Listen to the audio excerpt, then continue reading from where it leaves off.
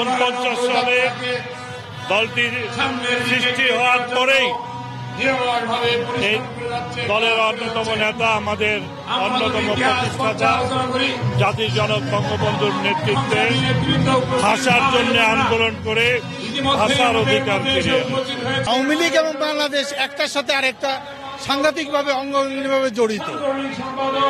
আওয়ামী লীগের জন্ম হয়েছিল বলেই বাংলাদেশ নামে এই ভূখণ্ডর একজন নাগরিক হিসেবে আমি কিন্তু কথা বলার অধিকার পেয়েছি।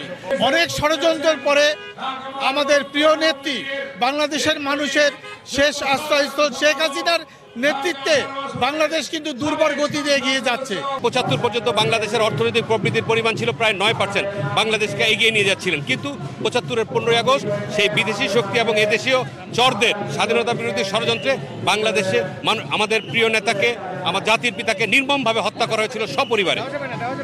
এরপর বাংলাদেশের অর্থনীতির চাকাকে পিছনের দিকে ঘোরানোর চেষ্টা করা হয়েছিল।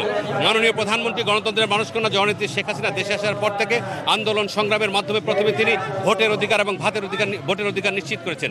এরপর তিনি পাঁচ পাঁচবার ক্ষমতায় থেকে বাংলাদেশের মানুষের ভাতের অধিকার নিশ্চিত করেছেন।